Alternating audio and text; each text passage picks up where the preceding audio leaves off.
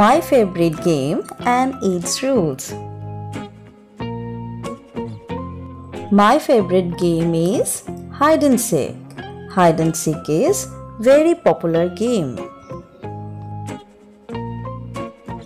We play hide and seek in our game period at a school playground.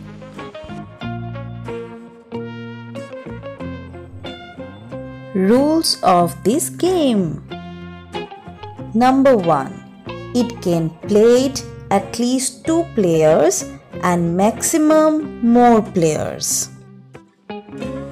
Number 2 We can play it indoors and outdoors.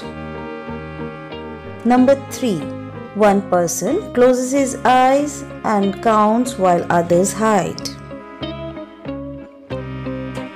Number 4. The seekers then open his eyes and try to find the hiders. Number 5. The first hider one found is the next seeker. Number 6. The last hider is the winner of the round.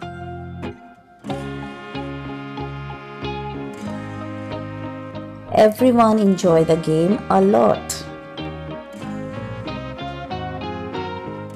I like hide and seek game very much. Thank you and keep smiling.